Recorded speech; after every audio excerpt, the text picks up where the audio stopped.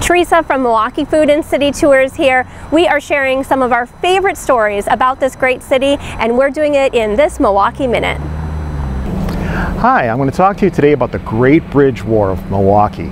Way back in 1845, Milwaukee was actually three separate communities. This side of the river was known as Kilbourn Town. That side of the river was known as Juneau Town. And on the south side, it was known as Walker's Point. Now these were three separate communities that didn't get along with each other. In fact, what they would do is uh, they would gather along the banks of the river for years, each night, and yell things at each other. So what happened, Juneau Town financed three bridges to go across the Milwaukee River to connect both the communities. Now, the people on this side of the river, which is known as Kilbourn Town, didn't like it. On May 3rd, 1845, the people from Kilbourn Town got a schooner and started ramming into the bridges. And then they got their picks and their axes and they were yelling at each other and they were tearing apart the bridges in the middle of the night. The people of Juneau Town got upset.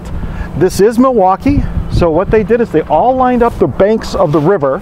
Some had guns. There's a legend that there was an actual cannon that was rolled out and that cannon was pointed at the house of Byron Kilbourn, who lived right down there they decided not to fire on his house because his 17 year old daughter had died that day.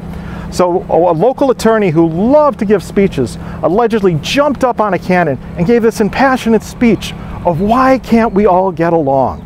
So he gave that speech, everyone was calm, and they decided to actually form one city and they called it Milwaukee.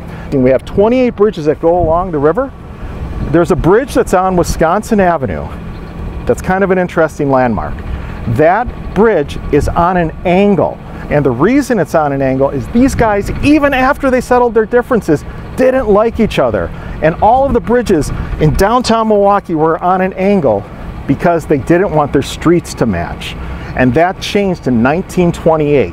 So that's the last surviving angled bridge here in the city of Milwaukee, and that's the story of the Great Bridge War of 1845.